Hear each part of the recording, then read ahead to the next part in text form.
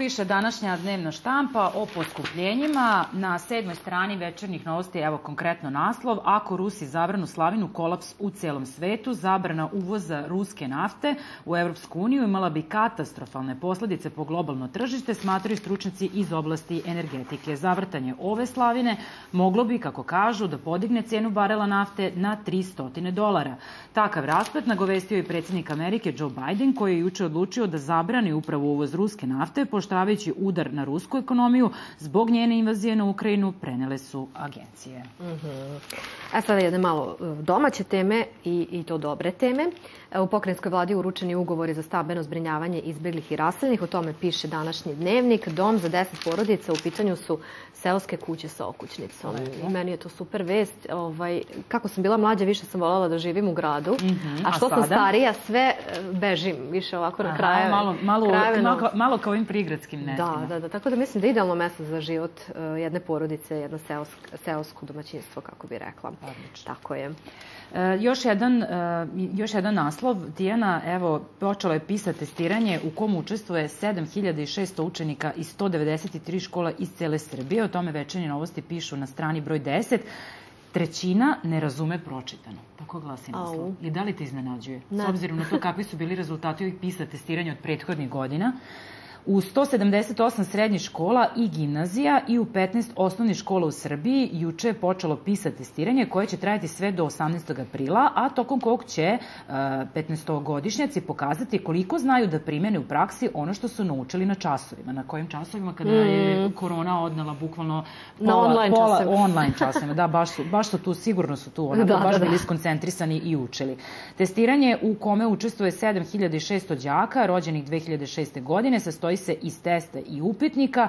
Test se radi 2 sata sa pauzom od po 5 minuta, a nakon toga učenici imaju i pauzu od 15 minuta, pa lepo imaju malo i do odmore. Posle te pauze radit će upitnik koji traje 30 minuta, tim upitnikom se ispituju njihovi stavovi o školi, dok se na samom testu ispituje matematička pismenost, razumevanje pročitanog, e, naučna pismenost i kreativno razmišljanje. Evo, kaže, rezultati ovog e, aktualnog e, testiranja biće poznati tek sledeće godine. Dobro, čućemo te rezultate. Gradonačelnik Miloš Vučević o desetogodišnjim investicijama u infrastrukturu kaže ulaže se u sve delove Novog Sada od 2012. do 2021. godine u kanalizacijonu, vodovodnu mrežu, vrelovode, zelenilo, zalivne sisteme i različitu mehanizaciju. Uloženo je gotovo 9,4 milijarde dinara, više od 627 miliona dinara ulože, uloženo je u ozelenjavanje grada, odnosno podizanje zelenila, izgradnju objekta i novog rasadnika, te instaliranje zalivnih sistema i uređenje spomenika prirodne Kamenički park, što više zelenih površina nikad ne škodi, jel tako? Naravno. Voleli bismo da ima i, I, radi i više. Se, I radi tako? se, i gradi se po Novom Sadu. Ne znam, sad e, nisi, nisi prolazila tim delom grada. Evo ja moram da kažem da ovaj deo gde je nadvožnjak u Kisačkoj ulici čini mi se da je gotov i čini mi se da sam mm -hmm. negde pročitala podatak da bi trebalo saobraćaj ponovo da, da počne da funkcioniše upravo uh, tim delom, znači kroz ovaj da? nadvožnjak koji se radio super. zbog uh, ove deonice brze pruge baš sutra. Čini mi se da sam negde pročitala 10. mart. E sad ne znam, evo proverite. Pa, Miro, nadamo budete... se da si da, u pravu. Da, da, da. Svi novosađani se nadaju Svi novosađani se nadaju i pogotovo svi, svi mi prigradski koji dolazimo u Novi Sad znamo koliki je pritisak na ovu raskrsnicu uh, Temerinski partizanske i tamo posle uh, na, na Rumenačkoj ulici, tako da evo baš obratite pažnju, evo vidite sutra kad budete prolazili, ako su sklonjene one barijere, znači da, znači da, da, da možete da, prođete. da možete tu da, da prođete. I jako lepo isto što iz prve ruke, evo mogu da ti kažem, uh plato kod železničke stanice fantastično izgleda. Ja nisam bila u tom delu. E, morat, ću, morat, ćete jednom, morat ćete jednom povesti pa da vidiš kako to sad lepo izgleda. Dobro, pa baš lepo. Kad smo već kod ovih novosadskih priča, evo jedne i u današnjim večernjim novostima na strani 21, u kovertama lažni računi. Na kućne adrese Novosađena u kovertama na kojima je falsifikovani logo javnog komunalnog preduzeća informatika, ovih dana stižu lažni nalozi za plaćanje doplatnih karata za parking, naknade za RTS kao i druga obaveštenja. Zato je ovo preduzeće podnelo krivičnu prijavu protiv NN lica koje je lažne naloge slalo građanima Novog Sada, ali i drugih gradova u Srbiji. Informaticu su iz pošte dostavljene koverte sa lažnim sadržajem, a ovoga puta su u kovertama poštine obaveštenja. Takođe, neka obaveštenja su takođe pakovana i u koverte sa logom informatike, mada ona nisu poslata iz tog preduzeća i naravno, evo, i još jednom, e, upravo iz tog razloga javno komunalno preduzeće informatika je i uputilo apel, apel građanima da dobro paze e, kakve koverte nalaze u svojim poštanskim sandučićima. Eto vidiš čime se sve Da, ima svakakvih prevara.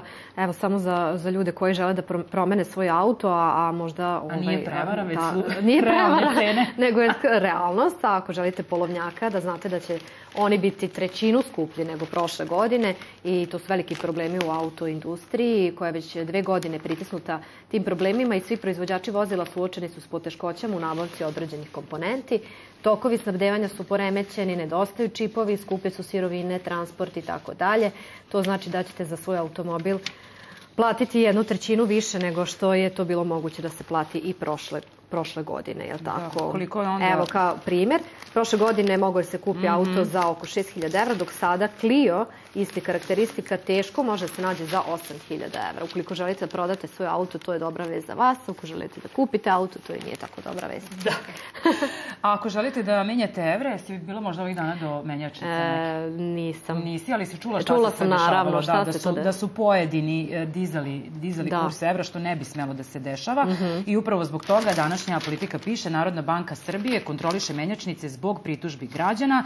Ponuda i tražnja evra u menjačnicima se stabilizovala, ali, se zato kurs, e, ali je zato kurs nešto veći e, nego pre desetak dana. Prestonički menjači evra su juče otkupljivali po 117,5 do 118 dinara, a prodavali od 118,7 do 119 dinara. Upravo ova razlika je za one koji su prodavali i kupovali veće iznose, e, naterala ih je na šetnju. Inače, manje svote evropske valute od po nekoliko stotine mogli bi se sakupljati bez problema. Inače, Narodna banka Srbije započela je kontrolu, menjačnica na osnovu sobstvenih saznanja i pritužbi građana da kurs u menjačnicama nije u skladu sa rasponom predviđenim njenim odlukama, prema kojima e, može biti, e, znači u odnosu na srednji kurs važeći za taj dan, viši samo 1,25%, a evo, kažu, proteklog vikenda Centralna banka izvršila je kontrolu više od 20 menjačnica u Beogradu, Nišu, Kragujevcu i Novom Sadu. Pa stvarno još da se zaradi. Da, dobro razmislite i dobro proverite gde hoćete da menjate evre.